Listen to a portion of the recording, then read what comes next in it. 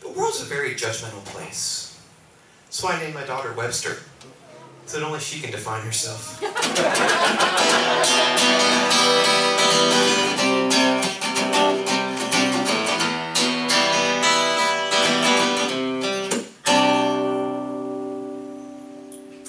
At what point does the overweight psychic lose the right to call themselves a medium?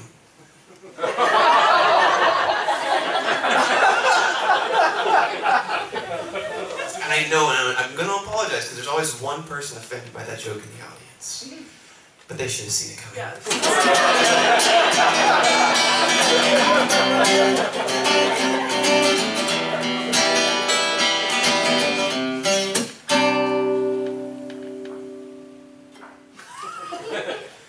If you tell a conspiracy theorist that you love them to the moon and back, do they get mad and say, "Psh, you never loved me at all then, did you? attitude.